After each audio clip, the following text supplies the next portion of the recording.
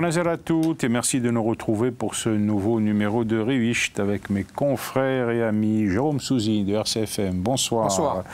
Dilomo Padavani de Corse Matin. Bonsoir, Bonsoir. à vous Dilomo. Et euh, Dominique Moret de Viastel. Bonsoir euh, Dominique. Euh, Jérôme Pa, il est absent, il ne prolonge pas la grève, je vous rassure. Nous le retrouverons dès la semaine prochaine. Alors la grève, justement, et plus généralement la mobilisation dans la rue, c'était hier. Et comme on pouvait s'y attendre, ça a été un très grand succès, unité syndicale et soutien massif de l'opinion. Il pouvait difficilement en être autrement. Alors nous interrogions la semaine dernière sur l'ampleur du mouvement. On peut dire que c'est bien parti pour une épreuve de force sur la durée, durée Guillaume Mais euh, effectivement, lorsque l'on voit euh, le, monde euh, qui a défilé sur, le, sur le cours Napoléon à Ajaccio, on se dit euh, au niveau national, euh, euh, il y a une, enfin, on se disait en tout cas hier matin qu'il devait y avoir une forte mobilisation. Ça a été parfaitement confirmé. De nos jours. à l'heure où les, mobilisations, notamment syndicales, notamment pour de- des, raisons, des raisons sociales, sont toujours très difficiles, c'est évidemment un tour de force de, un tour de force de la mobilisation qui a été confirmé. Alors, la dernière victoire sociale importante des syndicats, ça remonte à 2006. hein, C'était à l'époque du CPE. Dominique de Villepin était Premier ministre et Jacques Chirac président de la République. Et face à l'ampleur du mouvement, ben, finalement, la loi avait été votée, mais Chirac avait refusé de la promulguer. Donc le CPE a disparu. Est-ce que vous pensez qu'aujourd'hui, euh, Macron peut reculer face à l'ampleur de la mobilisation Dominique? Alors, c'est pas la mobilisation d'aujourd'hui, bien sûr. Il faudra voir euh, Sur le long terme. la- la- sur le long terme. hein. Euh, dès le 31, il y a un autre appel à la grève. Il y a entre-temps euh, des grèves plus ou moins perlées avec des syndicats qui ont fait des préavis euh, euh, plus longs. Euh, on verra ce que ça donnera.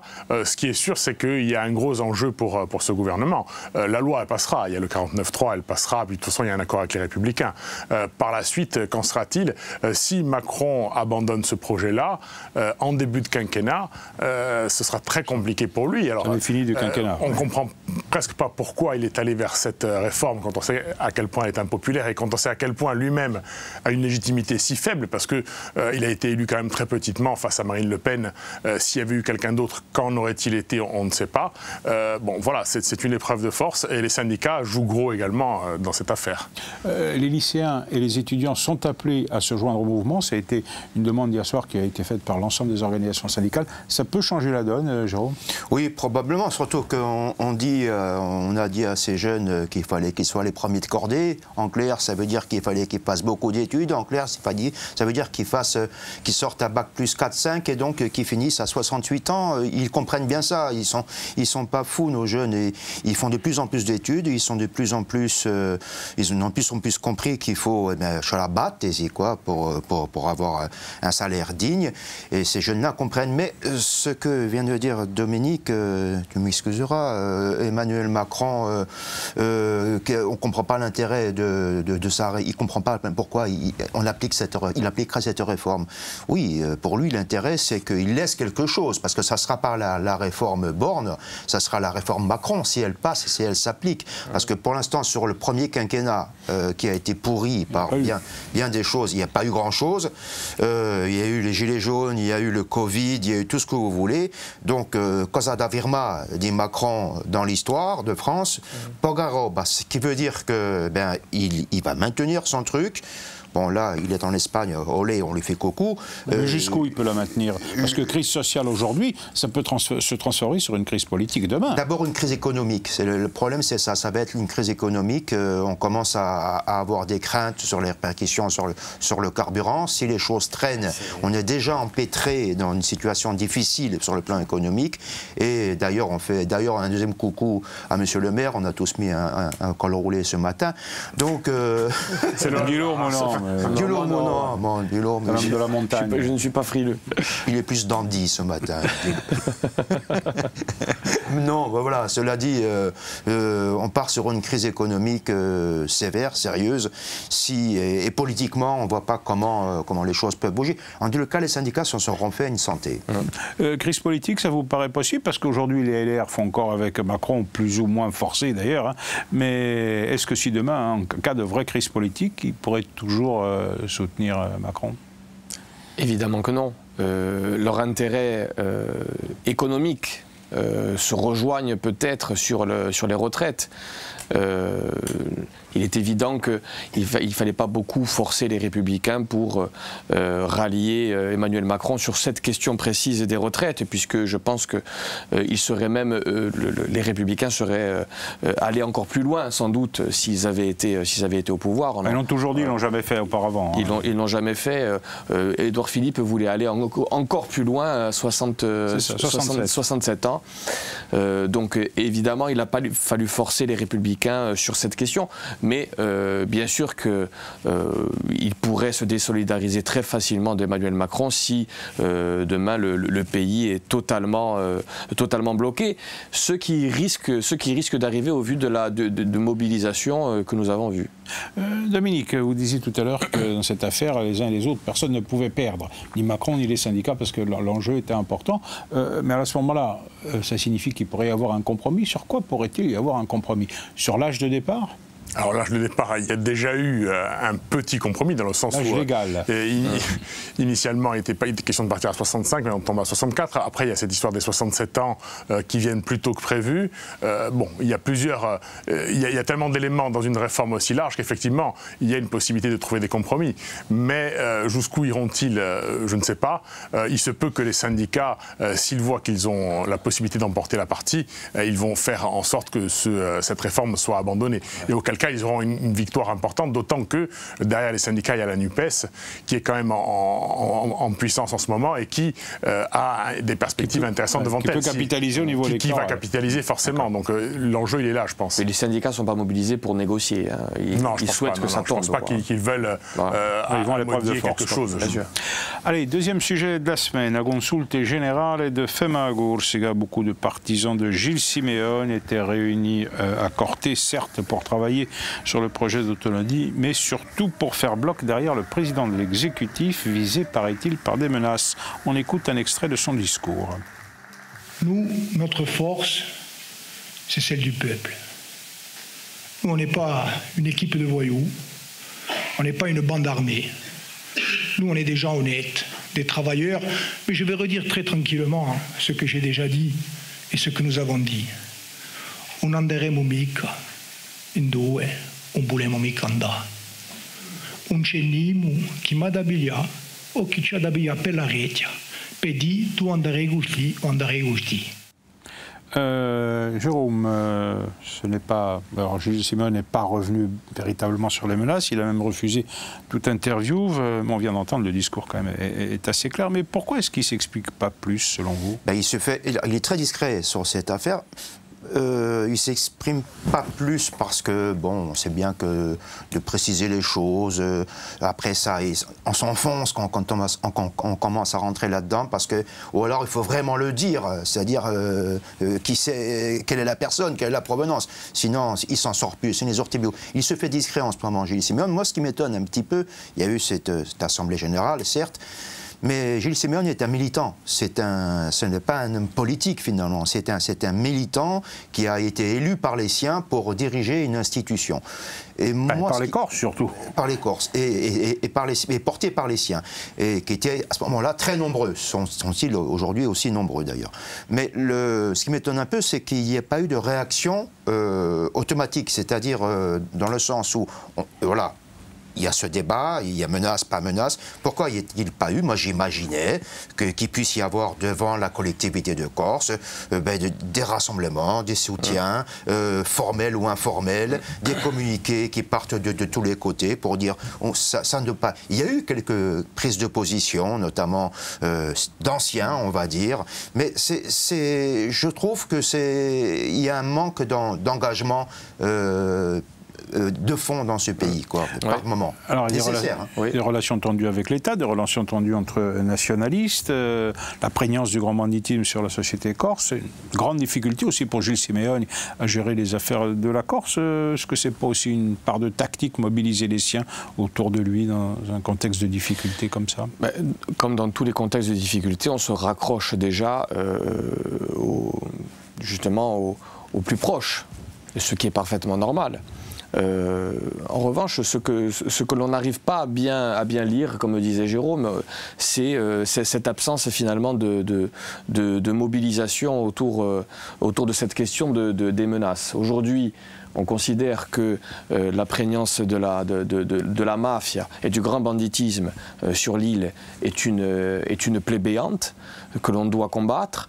Et on voit mal, justement, on ne voit pas quasiment de mobilisation autour de cette question. Gilles Simeone lui-même, je suis assez étonné que pour le président de l'exécutif, si le président de l'exécutif, tout puissant, euh, euh, est, victime de menaces, ce, dont personne ne doute. Euh, ça a toujours été le cas. Ça a hein, toujours été le cas. De tous. Mais je, suis assez étonné qu'il n'en fasse pas état sur, le, sur, la place publique à travers une ah. conférence de presse, je, suis d'accord avec vous, Jérôme, parce en, que... disant, en disant, voilà, je suis victime de menaces pour, sur tel ou tel dossier. Hmm c'est à travers une phrase. Pour, pour, pour, pour, justement pour amplifier cette, ce, ce, ce, ce mouvement euh, contre, le, le, contre les menaces et contre le, grand banditisme. Effectivement, l'absence de réaction se comprend aussi par l'absence d'explication. Euh, un mot euh, ah durant les vœux, donc c'est calculé forcément. Les vœux sont enregistrés. et puis ensuite, on est aujourd'hui bientôt fin janvier. Y aura une session la semaine prochaine, peut-être qui s'exprimera. Mais entre-temps, il n'y a eu aucune explication. Et la machine médiatique bah parce un petit peu autour de ça. Il y a eu des faits, il y a eu les incendies de proches. Euh, mais euh, alors, c'est à la supposition de, chacun, parce que s'il y a quelque chose de plus précis euh, lié à des intérêts qui auraient pu être contrariés par des choix qui ont été faits par la collectivité de Corse, là, il faut, qu'on, il faut que les citoyens le sachent. Donc, s'il y a peu de mobilisation, c'est vrai, mais c'est aussi parce qu'il y a peu d'explications. En tout cas, c'est une stratégie de la part de Gilles Simeoni. Ce silence, a, a priori, doit lui profiter, puisque c'est, ce qu'il fait. alors, est-ce, est-ce une façon aussi d'en appeler à l'État de dire, regardez, la situation est très compliquée, la moindre étincelle peut compliquer davantage les choses quand on sait que le dialogue est interrompu, c'est peut-être ça aussi. Mais on fait la liaison avec la dernière euh, partie de l'émission. Cette semaine, nous avons eu droit à une visite gouvernementale. Nous n'étions plus habitués. Hein. Alors, c'est Marlène Schaap qui s'y est collée. Elle a passé trois jours en Corse. Alors, le contenu de la visite euh, n'est pas vraiment ce qu'on a retenu. Hein. Mais c'est plutôt la reprise des contacts entre le gouvernement et la Corse qui est intéressante. On l'écoute.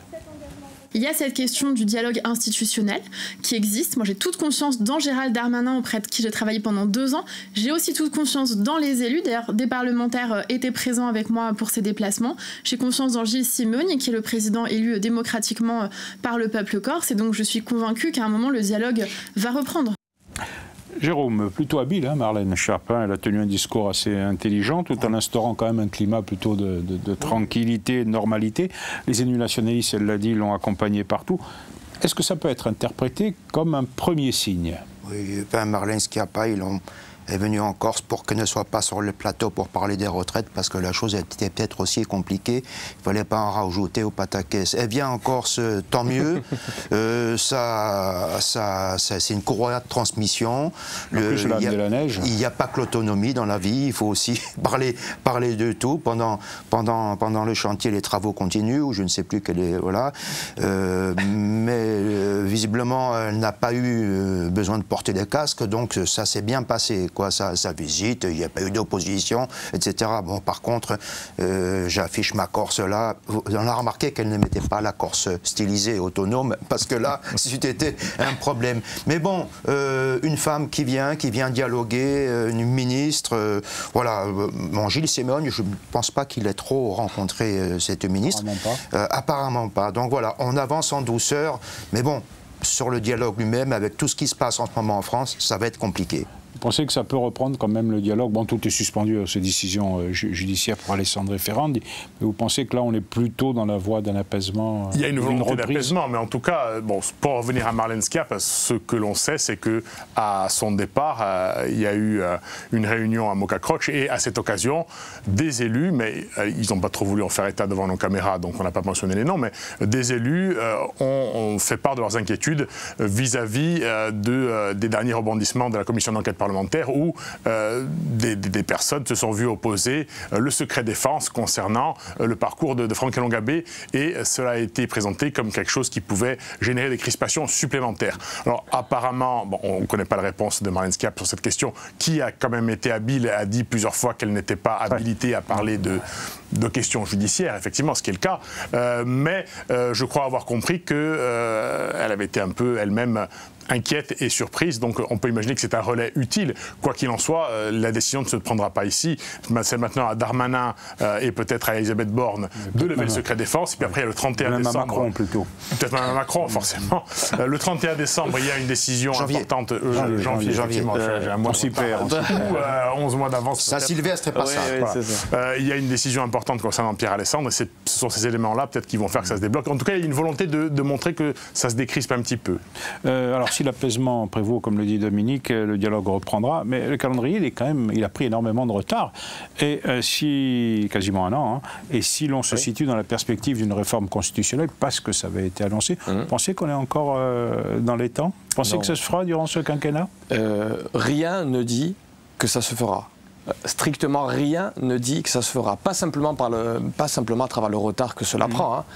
Euh, Marlène Schiappa, euh, aujourd'hui, il y a des euh, problèmes extrêmement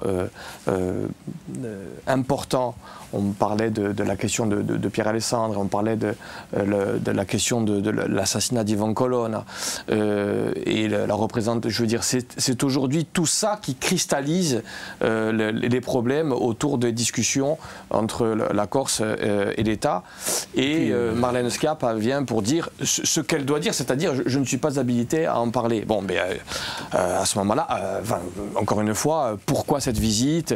Ça ne sert une, nouvelle fois strictement à rien. Ah, peut-être pour euh, renouer un peu euh, oui, mais le, dialogue. Le dialogue n'a jamais été, mais le dialogue n'a jamais été rompu entre euh, entre Gérald Darmanin et J.C. Simeone. Ah, ils se parlaient au téléphone, mais enfin des réunions. Le dialogue n'a jamais été rompu, mais justement le dialogue, si le, véritable dialogue qui nous intéresse, celui des négociations, doit être renoué, ce n'est pas du tout à travers Marlène Schiappa. Et bah, pour rebondir, c'est sûr qu'il y a d'autres problèmes également nationaux. La réforme des retraites dont on parlait tout à l'heure. peut plomber le quinquennat et donc le référendum là, on en parle plus. Là, hein. pour le coup, si demain euh, le gouvernement est embarqué dans une crise majeure qu'il n'arrive pas à gérer, les affaires de la Corse, ce sera dérisoire pour eux. Tout à fait.